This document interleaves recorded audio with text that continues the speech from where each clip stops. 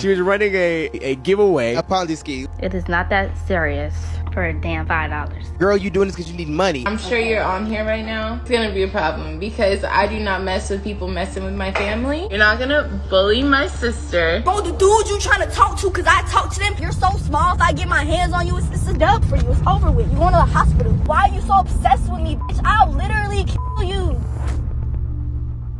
Skai Jackson has quite a few enemies in Hollywood. For whatever reason, she can't seem to keep herself out of controversy, whether she's fighting a fellow celebrity over a man or allegedly scamming her own fans. She and her mother are up to no good. So let's get into it.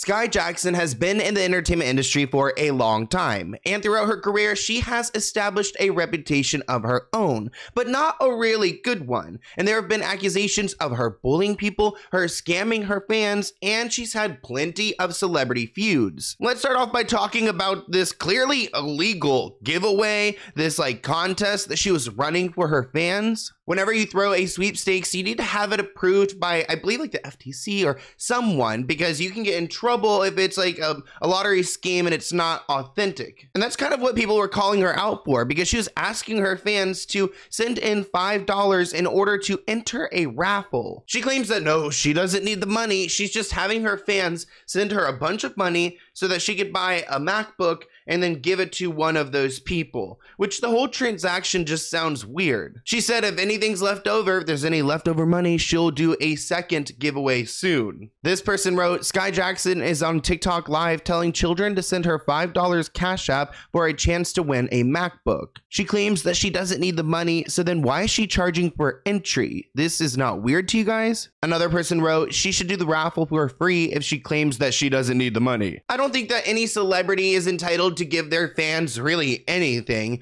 but if they're going to, it's nice. It's just kind of weird when you see that you have to pay in order to possibly win this and you're not getting anything out of it. I mean, you're just sending her $5 on Cash App. It doesn't sound authentic or genuine, and hearing her speak about it doesn't make it any better. It is not that serious for a damn $5. It is called a raffle. I don't know if you guys have been to school before, but I know I've been to school and we used to have raffles all the time where a ticket might, but it's a physical ticket. You might get five, put in $5, $2, whatever. And you get a prize. Like people do raffles all the time. Yes, the money goes towards the prize. And then, like I said, if there's anything left over, I'm doing a second giveaway um, soon. So that's what it's going towards. I do not need money me personally, I do not need money. And I'm not saying this like I'm in a bragging way or anything like that or in a mean way. I'm just letting you guys know I do not personally need money. Like I am very fine in my life. I don't need um I don't need money. It does seem like Skai did go and buy this MacBook. I feel like she had to because of all the backlash. So she did buy the person the MacBook. We don't know how much money she ended up raising, but a lot of people called out the fact that usually when people do this, they pay for the prize and the money just goes to a charity. So it just left a bad taste in everyone's mouth. This person wrote on Twitter, the Disney money has ran out. Someone else wrote, give her an acting gig. Another tweet, she was on Disney for nine years just to be asking TikTok kids for money. Skai Jackson is the main one telling people, I'm booked and busy, but is begging people to do $5 raffles to win a MacBook. Guess that Disney check finally ran out. Skai Jackson is hilarious, bro. She was running a, a giveaway. A Ponzi scheme. It is not that serious for a damn five dollars. She was running a giveaway. Yeah. Yeah, yeah, week, week. Yeah, yeah. Where her supporters have to send her five dollars and they can win a MacBook. You gain more than anybody else in this thing. They were commenting saying that, "Girl, you doing this because you need money," and then her response on it. This is a clip that went viral. Her response on it was, "How do I need money? I, it's a raffle. Y'all ain't never done a raffle in school before." I'm not gonna lie. This would have been a good idea that I would have had, mm-hmm. but I wouldn't have executed it. Like I would have told you to be like, that'd have been funny, bro. That'd be a heck of fun if somebody did this. I would never do it. That's crazy. So it's just weird. It's also weird how she continues to fight with other celebrities and random influencers like Bhad Bhabie. Bhad Bhabie was known for her appearance on Dr. Phil, and then she made a rap career out of her fame. And then she has also been outspoken when it comes to teen camps that are in the wilderness where people are sent off and they're like essentially So Bhad Bhabie has had a pretty big career. The feud allegedly started when Skai made a comment on her second private Instagram account saying that she wanted someone to hook her up with rapper NBA Youngboy, who Danielle had previously dated. Bhad Bhabie is also, her name is Danielle. Danielle wasn't pleased and she posted and deleted an Instagram post where she explained why she was annoyed. She said that Skai previously commented on the fact that Danielle got a tattoo of Youngboy's name on her face, and now she's complimenting his looks. Danielle was apparently upset because Skai has done this before. Quote, she literally does this with every dude I talk to. Their feud over Instagram escalated and Bhad Bhabie was not backing down. At one point, she threatened Skai saying that she needs to stop going to the nail salon that she goes to. Quote, don't ever come to Glam House, B word. You want to be me so bad, you get your nails done by the people I get my nails done with? Don't ever come here. I ain't tripping because I'm gonna see her. I'm gonna see her at the perfect time and I'm gonna dog her. And none of her friends gonna help her because they all innocent and they don't want no no pressure with me at all. I don't even know why she thinks she want pressure with me. You know how I am. You used to hang around me. You know how the how I am. You know I really get on. You know I don't play. So why, why, why are you so obsessed with me? I'll literally you. Like I don't know why you're not understanding that. You're so small. If I get my hands on you, it's, it's a dub for you. It's over with. You're going to the hospital. Like I'm saying, you better rack up all your checks right now. Get all get all the money you can. Get all the shows you can. All the commercials. All that. Shit. Because when I get a hold of you, you ain't finna be doing none of that shit no more. I would not want to fight with Bhad Bhabie. But Skai Jackson has this image of this child star, this Disney person who is, you know, innocent. And a lot of times people, you know, side with her opposed to Bhad Bhabie because look at how Bhad Bhabie speaks. But I don't know how Skai is in her personal life. She seems a little bit shady because I don't think that like Bhad Bhabie really has any reason to lie. And she goes back onto her social media and she calls her out again. Supposedly, Skai has tried to talk to multiple guys that Bhad Bhabie has dated, including Youngboy and another rapper named Lil Goddard. Come on, man. Like, these dudes, the thing is, bro, the dudes you trying to talk to, because I talk to them, they, they not your type. You don't talk to dudes like that. So stop.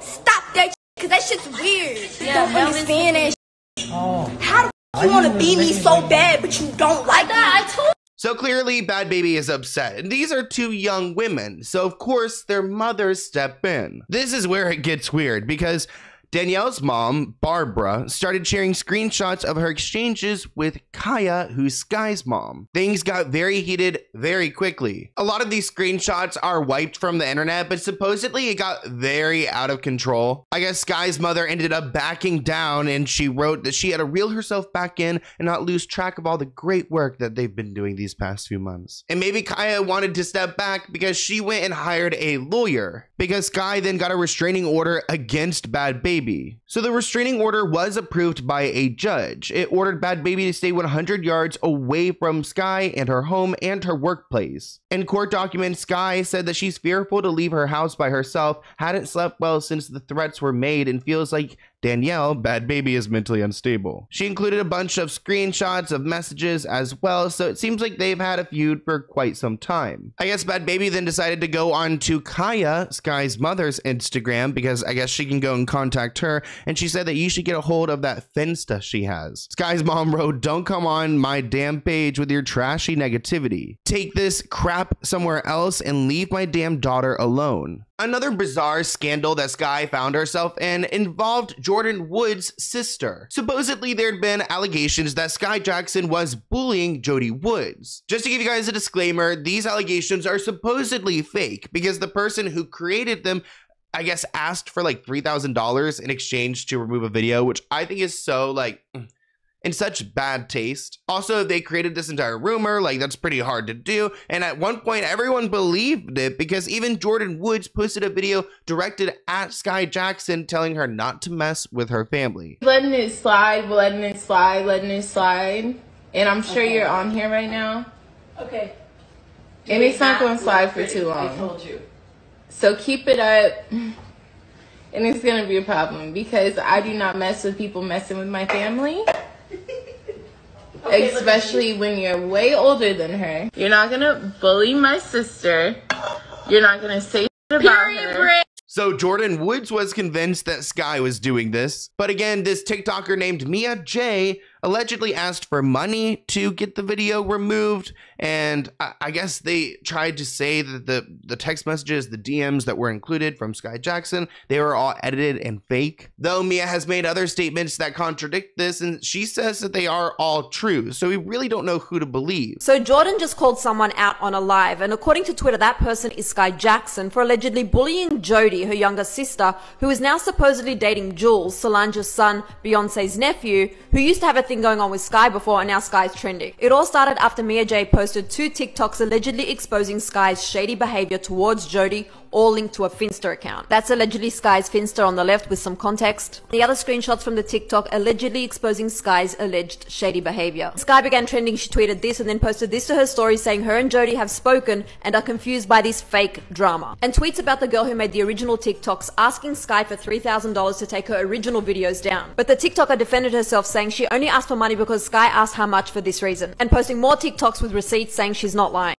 While we're on the topic of Beyonce's nephew, let's talk about that because there was some weird press surrounding their relationship. Keep in mind, like, he's like 16 and she's 18 at this time. He goes by Jules and he is the son of Solange Knowles, and he revealed that he and Skai had an intimate relationship. He said, I effed her good and got her addicted and then left her. It's complicated. Oh, God, how charming. But he also revealed that supposedly Skai had cheated on him during their relationship. I mean, keep in mind, he's 16, she's 18. They're really young. And even though he is out here talking to the press, supposedly these two do still hang out and have been seen together time and time again. This report claims that Jules, being the son of singer Solange and nephew to Beyonce, have people shook that he could speak this way about a black woman. Supposedly, at this point, some intimate media was released between these two, and someone wrote Skai Jackson and Beyonce's nephew Jules did what? And it got leaked OMG Solange is gonna whoop his ass. Another person wrote, Solange Knowles' son deserves an ass whooping for leaking that private moment between him and Skai Jackson. I hope she sues that little rodent. Someone that I know that knows Jules said that they have this secret group chat um where he's in there. But anyway, let's get into it. So they were dating and apparently Skai cheated allegedly. So to get back at her, he posted this. So someone in a group chat named Gary said, um, why is she talking about throw Lieberman away if she's the one that cheated? And he said, cause I made sure to ruin her life. Then someone asked, did y'all have sex? And he said, yeah. Skai Jackson tends to ignore things when it comes to these type of moments, but she couldn't ignore this because this was a video of his like hand touching her and you could really see what was going on. She simply stated, God will get you through anything. This wasn't great news for the Knowles family. They actually all turned their comments off and they're getting a ton of backlash because people were, you know, mad at Jules for posting this of Skai. I would be too. Another person who tends to fight with others in the entertainment industry is Azealia Banks. And she and Skai Jackson got into it because she accuses Skai's mother of over sexualizing her daughter. Keep in mind that Skai's actually like 14 years old when this went down. And Azealia told Skai that she needed a boob job and a butt lift and accused her mother of pimping out her daughter to Disney. Skai replied back saying Azealia Banks needs to simmer down a little. And of course, that set Azealia over the edge. Among the many offensive comments included a prediction that she, Skai, would end up washed up like a child star, depressed and addicted to drugs. Skai tweeted at Azealia telling her to simmer down a little bit, but then Azealia fired back by saying, quote, you need to grow some hips and start your menses. Stay in a child's place. After that tweet, the exchange went on for hours. Skai replied, when a no-hip having 14-year-old has more class than you, worry about your career, get one, with a peace emoji. Then Azealia took shots at Skai's mom, saying, quote, pimping her out to Disney, tweeting for her. Then she alleged that her mom forced her to work with Disney because she failed in life. Yikes, this is a bad conversation all around. She also said some pretty nasty things about Skai's mom and how she will land Skai her next role, but I'm definitely not going to get into that right now. But Azealia didn't stop there. She took jabs at Skai's acting career, saying she's never heard of her before, telling her to get plastic surgery and saying things like, quote, you're just another little black girl who's going to be kicked off the Disney conveyor belt. Plus, she even told Skai she would end up depressed and addicted to drugs. But Skai was quick to defend herself from all of these hurtful words. She fired back by saying she had a career before Disney and she's sure she will after. Then, calling Azealia bitter and miserable, Skai said Azealia Azealia's giving black women a bad name. But before things ended, Skai tweeted, quote, You got dissed by a One Directioner. How miserable can your life be? Now have several seats, Azealia stinks. And she even tweeted out, quote, Go fix your edges before you come at me. Hashtag bye now. Hide behind your weave smut. It's pretty insane when you think that Skai is only 14 years old and they are going back and forth on Twitter like this. Azealia defends herself by saying that she was actually tweeting with Skai's mother, that, you know, her mother was writing the tweet. So um, I don't really think that's much of an excuse. I think like fighting any like teenager or minor on the internet, just like automatically you're in the wrong. Now Azealia was disgusting for saying those things about Skai, but going into the future, there have been some weird blind items about Skai Jackson. And for one, for example, uh, they claim that she actually did get her like boobs done, which I just like, why are you even talking about this? But it's weird because I guess a full circle. This former Disney actress who has been yachting for years, even though she can barely drink, recently got new chest implants because she thinks it will help her earn more money. One of her quote unquote boyfriends paid for them. And again, this is allegedly Skai Jackson. And here is a related blind item from March of 2020. I think it's great this underage Disney actress is exposing men who hit on her, but she has only dated people that are in their 20s, and I think one guy was either right at 30 or close to it. Oh, and there was the one guy she was hooking up with who already had children that she wanted to keep secret because she didn't want to get him in trouble. And here's another related blind item from July of 2021. It was not all that long ago that I revealed this former Disney actress extorted married men who sleep with her and how she charged more when she was underage. Now she is looking for an enforcer to carry out the debt collections. And the related wire image reads Skai Jackson attends the Variety Power of Young Hollywood at NeueHouse, Los Angeles on August 10th in Hollywood, California. So Skai Jackson has been out here, and so has her mother, and they have had plenty of little controversies. So I want to hear what you guys think in the comments below. Let's go ahead and open this PO box package item from Wonky Cat Comics. We've got some stickers here, some cat pop. It's cute. Okay, dear Sloan, I hope this package finds you well. I love your work and thankful that you discuss these topics, no matter how uncomfortable they are. Here in this package is a Wonky Cat coloring book and stickers for you or someone you love. Times are hard, and we all need something fun to relax and decompress. Wonky Cat is a pink cat who stands for the belief that it's okay to be imperfect, cat or human. Wonky Cat is also part of a web comic with his friends. Enjoy. Oh, so it's at Webby or Wonky Cat Comics. And look, oh, that's sweet. I like the premise of it too. Pictures.